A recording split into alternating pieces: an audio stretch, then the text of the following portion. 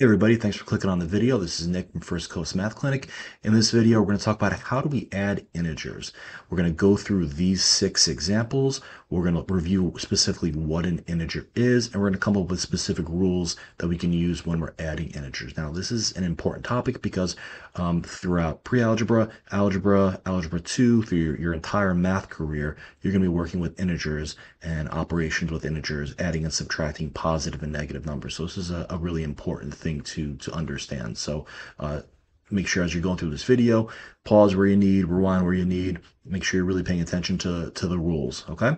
Um, and before we get into this, as always, make sure you like, comment, and subscribe, and leave some comments for any topics you'd like to see videos made on.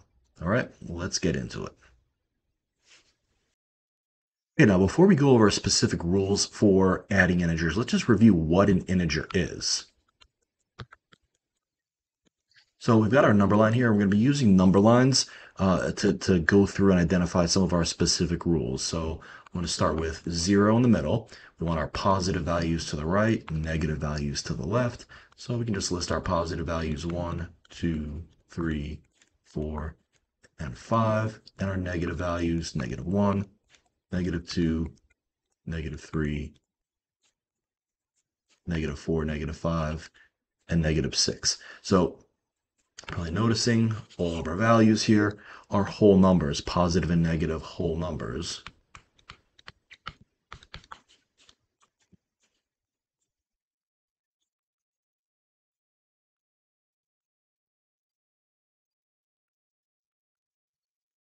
So those are our integers. Those are the values we're going to be working with today. Okay, we're not going to be working with decimals. We're not going to be working with fractions.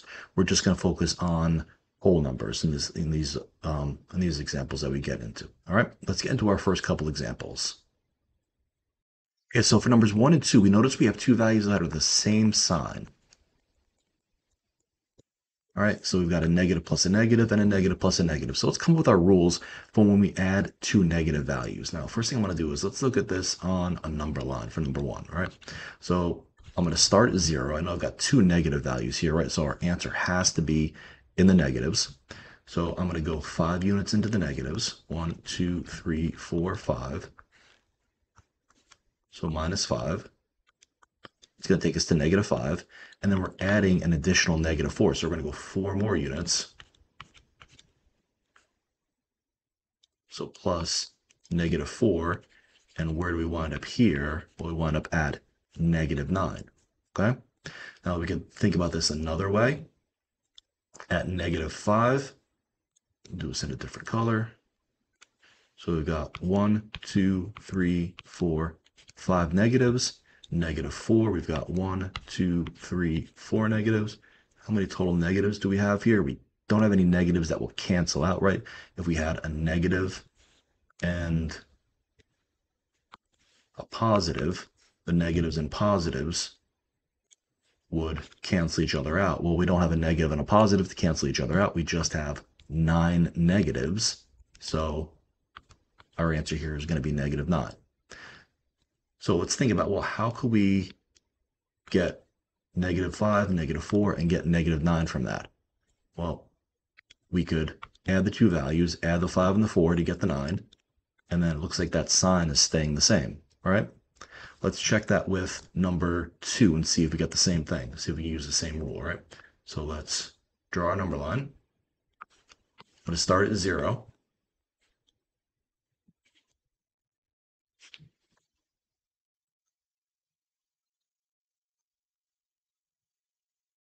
We're going 12 units into the negative.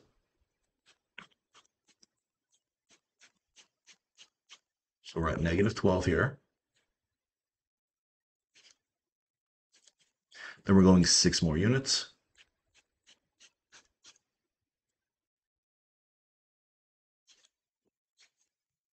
And this point is going to be negative 18.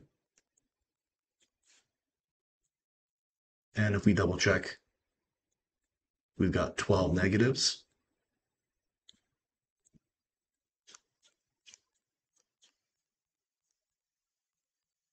And then six more negatives. All right, none of them cancel out. So we've got 18 total total negatives, right? So our rule specifically, if we looked at it using kind of our, our negative plus and minus signs and our number line, well, what rule can we use? Looks like we're adding our values, 5 plus 4, 12 plus 6,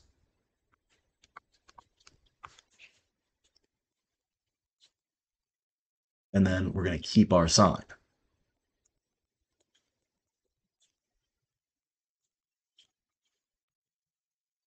Okay, so if we have negative 5 plus negative 4, we're just going to add the 5 and the 4, keep the negative sign. We're going to add 12 and 6, get 18, and keep the negative sign. All right, let's get into a couple examples where we're adding opposite signs.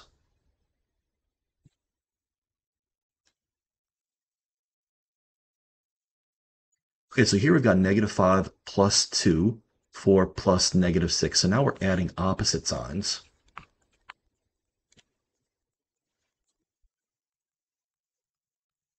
So let's come up with a rule that we could use when we're adding opposite signs. So let's think um, for our negative 5 plus 2, if we look at this in terms of plus and minus signs, well, we've got 1, 2, 3, 4, 5 negatives. And how many positives do we have? We've got 1, 2. So our two positives, two negatives are going to cancel out.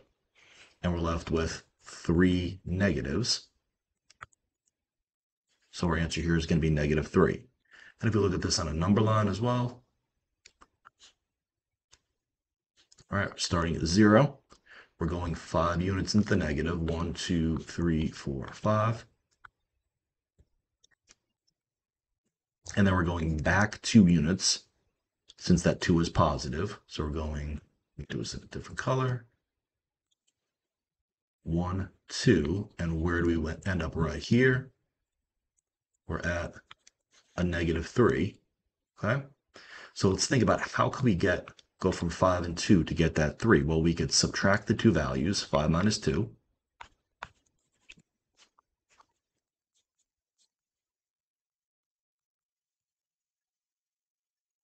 And we want to take the sign of the number that's further from 0. So if we compare negative 5 and positive 2, we're comparing the absolute value. So our absolute value of negative 5 is 5. The absolute value of 2 is 2. The absolute value of negative 5 is bigger than the absolute value of 2. Make that a little neater.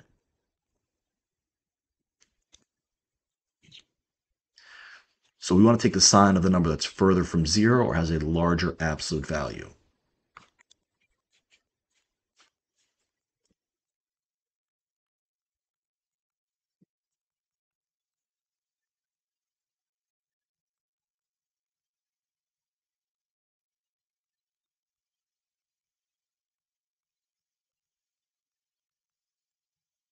When we say absolute value, we're basically just saying what number is further from zero. I just want to use the correct mathematical term.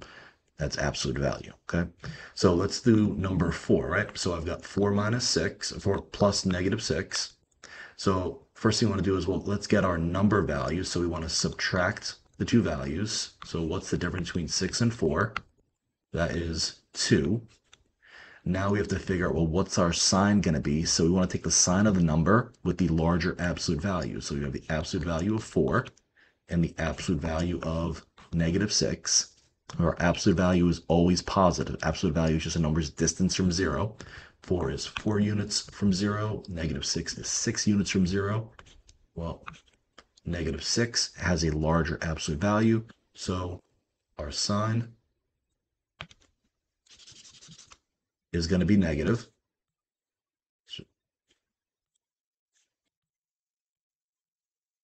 So our answer is negative 2. All right, now if we want to just a further explanation on that, right? So if I start at 0, I'm going 4 units into the positive.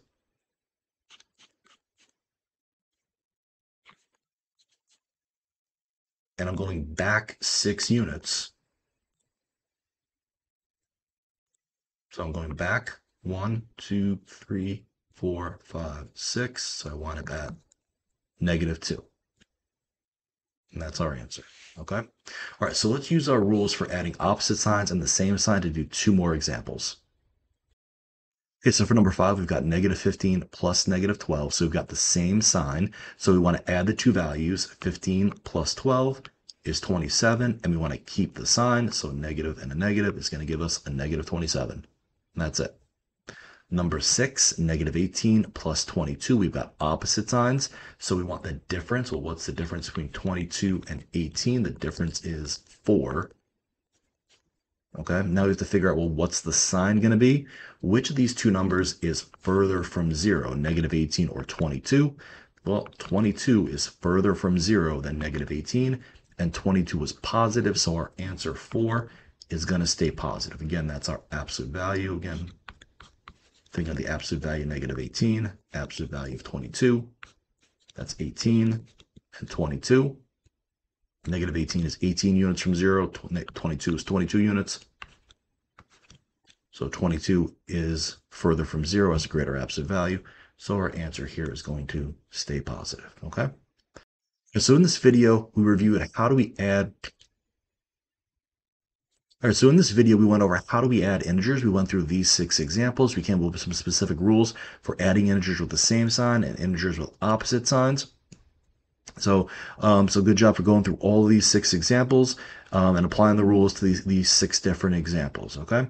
Next video, we're going to get into how do we subtract integers, and we're going to apply these specific rules when we subtract integers because we're going to be using our subtraction rule. So make sure you've liked, subscribed, and leave comments for any topics you guys would like to see, and check out the link for the next video, which is on subtracting integers. This is Nick from First Coast Math Clinic.